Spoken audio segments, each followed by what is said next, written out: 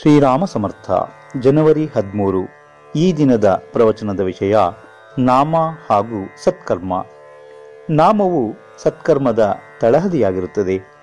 ಅದೇ ರೀತಿ ಕಳಸವೂ ಆಗಿರುತ್ತದೆ. ಭಗವಂತನ ಸ್ಮರಣೆಯಲ್ಲಿ ಮಾಡಿದ ಕರ್ಮವೇ ಸತ್ಕರ್ಮವೆನಿಸಿಕೊಳ್ಳುತ್ತದೆ.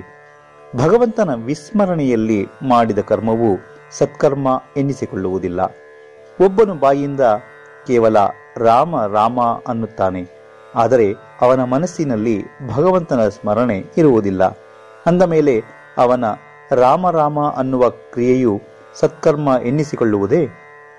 ನಿಶ್ಚಿತವಾಗಿಯೂ ಅನ್ನಿಸಿಕೊಳ್ಳುವುದು. ನಾಮವು ಸ್ವತಃ ಸಿದ್ಧ ಇರುವುದರಿಂದ ಅದನ್ನು ತಿಳಿದೋ, ತಿಳಿಯದೆಯೋ ತೆಗೆದುಕೊಳ್ಳುವುದರಿಂದ ಅದು ಸತ್ಕರ್ಮವೇ ಎನ್ನಿಸಿಕೊಳ್ಳುತ್ತದೆ. ಏಕೆಂದರೆ ಎಲ್ಲಿ ನಾಮವೋ ಅಲ್ಲಿ ನಾನು ಪುರುಷೋತ್ತಮನು ಇರುತ್ತೇನೆ ಎಂದು ಭಗವಂತನೇ ಹೇಳಿರುತ್ತಾನೆ. ಆದ್ದರಿಂದ ನಾಮದ ಉಚ್ಚಾರ ಹಾಗೂ ಭಗವಂತ ಇವೆರಡು ಬೇರೆ ಇರಲು ಸಾಧ್ಯವೇ ಇಲ್ಲ. ಬಾಯಿಂದ ನಾಮೋಚ್ಚಾರ ಮಾಡುವವನ ಲಕ್ಷ್ಯವು ಭಗವಂತನ ಕಡೆಗೆ ಇರಲಿ ಅಥವಾ ಇಲ್ಲದೇ ಇರಲಿ, ಅದು ಮಾತ್ರ ಸತ್ಕರ್ಮವೇ ಅನ್ನಿಸಿಕೊಳ್ಳುತ್ತದೆ ಬೇರೆ ಕರ್ಮಗಳಿಗೂ ಹಾಗೂ ನಾಮ ತೆಗೆದುಕೊಳ್ಳುವ ಕರ್ಮಗಳಲ್ಲಿ ಇರುವ ದೊಡ್ಡ ವ್ಯತ್ಯಾಸವೆಂದರೆ ಉಳಿದ ಕರ್ಮಗಳಿಗೆ ಪೂರ್ಣತ್ವ ಅಥವಾ ಸತ್ಯತ್ವವು ನಾಮೋಚ್ಚಾರದಿಂದಲೇ ಬರುತ್ತದೆ. ಆದರೆ ನಾಮ ಹಾಗೂ ಅಪೂರ್ಣತೆ ಇವೆರಡು ಒಟ್ಟಿಗೆ ಇರಲು ಸಾಧ್ಯವೇ ಇಲ್ಲ. ಆದ್ದರಿಂದ ನಾಮವನ್ನು ಭಗವಂತನ ಸ್ಮರಣಪೂರ್ವಕ ತೆಗೆದುಕೊಳ್ಳುವರೋ ಅಥವಾ ಇಲ್ಲವೋ ಎಂಬ ಪ್ರಶ್ನೆಯೇ ಉದ್ಭವವಾಗುವುದಿಲ್ಲ. ಇಷ್ಟೇ ಅಲ್ಲದೆ ನಾಮವು ಬಾಯಲ್ಲಿ ಬಂದಿತೆಂದರೆ ಸತ್ಕರ್ಮಗಳು ತಾವಾಗಿಯೇ ಆಗತೊಡಗುತ್ತವೆ. ಮಗುವಿನ ಜನ್ಮವಾಯಿತೆಂದರೆ ಮಗುವಿನ ತಾಯಿಗೆ ಹಾಲು ಬರುವುದು, ಮಗುವನ್ನು ಪ್ರೇಮ ಮಾಡುವುದು ಮುಂತಾದವುಗಳನ್ನು ಕಲಿಸಬೇಕಾಗಿ ಬರುವುದಿಲ್ಲ. ಅದೇ ರೀತಿ ನಾಮ ತೆಗೆದುಕೊಳ್ಳತೊಡಗಿದೊಡನೆ ಸತ್ಕರ್ಮಗಳು ತಾವಾಗಿಯೇ ಆಗತೊಡಗುತ್ತವೆ. ಇಷ್ಟೇ ಅಲ್ಲದೆ ಆ ತಾಯಿಗೆ ನೀನು ಮಗುವನ್ನು ಹತ್ತಿರ ಇಟ್ಟುಕೋ, ಆದರೆ ಅದನ್ನು ಪ್ರೇಮ ಮಾಡಬೇಡ ಎಂದರೆ ಅದು ಅವಳಿಗೆ ಹೇಗೆ ಸಾಧ್ಯವಿಲ್ಲವೋ ಅದೇ ರೀತಿ ನಾಮ ತೆಗೆದುಕೊಳ್ಳುವವರಿಗೆ ಸತ್ಕರ್ಮಗಳನ್ನು ಮಾಡಬೇಡಿರಿ ಎಂದರೆ ಅದು ಅವರಿಗೆ ಸಾಧ್ಯವಾಗುವುದಿಲ್ಲ. ಬಾಯಲ್ಲಿ ನಾಮ ಬರುವುದೆಂದರೆ ಹಿಂದೆ ಮಾಡಿದ ಸತ್ಕರ್ಮಗಳ ಫಲವೇ ಪ್ರಾಪ್ತವಾಯಿತೆಂದು ತಿಳಿಯಬೇಕು.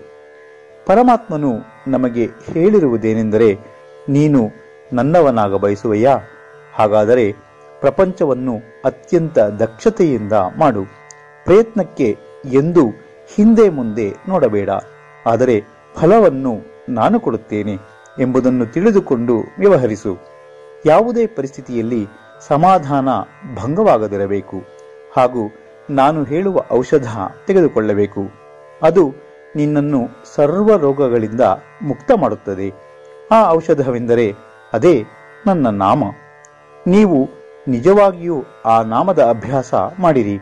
ನಿಮಗೆಲ್ಲರಿಗೂ ಆ ನಾಮದ ಹೊರತಾಗಿ ಬದುಕುವುದೆಂದರೆ ನಿಜವಾದ ಜೀವನವಲ್ಲವೆಂದು ಅನಿಸಬೇಕು. ನಾಮದ ಹೊರತಾಗಿ ಬದುಕಲೇಬಾರದು ಎಂದು ನನಗೆ ಮನಃಪೂರ್ವಕ ಅನಿಸುತ್ತದೆ. ನಾಮದ ಮೇಲಿನ ನಿಷ್ಠೆಯು ಹೇಗೆ ಕಾರ್ಯ ಮಾಡುತ್ತದೆ ಎಂಬುದು ನಿಷ್ಠೆಯಿಂದ ನಾಮ ತೆಗೆದುಕೊಳ್ಳುವವರಿಗೆ ಮಾತ್ರ ತಿಳಿಯುತ್ತದೆ. ನಾಮದ ಪ್ರೇಮವು ಯಾರಿಗೆ ಆಗುತ್ತದೆಯೋ ಅವರ ಹಿಂದೆ ಭಗವಂತನು ನಿಂತಿರುವನೆಂದು ಸತ್ಯ ಸತ್ಯ ಸತ್ಯವೆಂದು ಮೂರು ಬಾರಿ ಹೇಳುವೆ. ಆದ್ದರಿಂದ ಅತ್ಯಂತ ಅಭಿರುಚಿಯಿಂದ ಹಾಗೂ ಪ್ರೇಮದಿಂದ ನಾಮ ತೆಗೆದುಕೊಳ್ಳಿರಿ.